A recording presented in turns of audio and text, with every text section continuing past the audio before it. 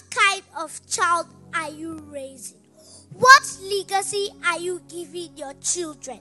Are you teaching them the ways of the Lord? Are you raising a godly seed? Or are you letting society, friends, relatives, and the internet dictate to you how to raise your child?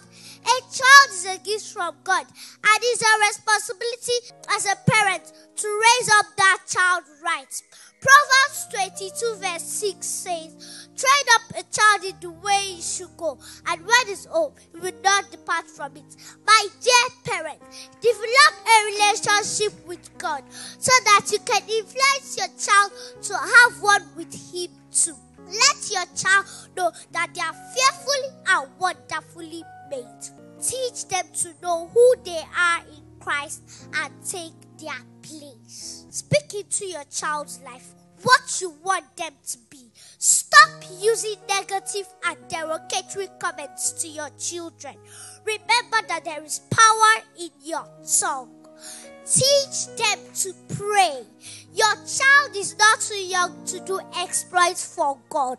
Remember David and Goliath. Samuel, who had voice as, as a young boy, Joseph, who trusted in God through all his trials and he never compromised. Even the little boy who gave Jesus fish and bread, he knew that the master had need of it and he gave.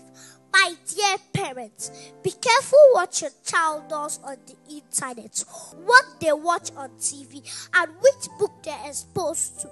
Teach them to know what is right and what is wrong, so that even when you're not there, they'll make the right decision. Does your child trust you?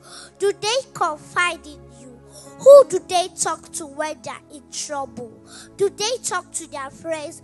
Do they talk to you? Do they even know to ask God for help?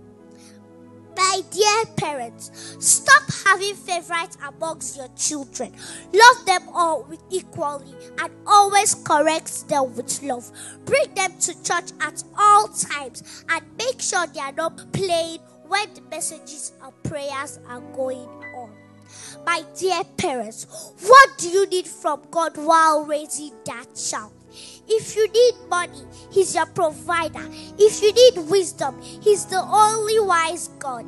If you need help, He's your helper. In times of weakness, He will be your strength. Even when family and friends forsake you, He will never leave you. My dearest parents, raise up godly seeds. Raise up generation that will proclaim Jesus to the world. A generation that will stand firm in faith, even in the face of all the ungodly things in this world. A generation that will do exploits for God because they know their God. My fellow mommies and daddies, I challenge you today. Raise up godly seeds.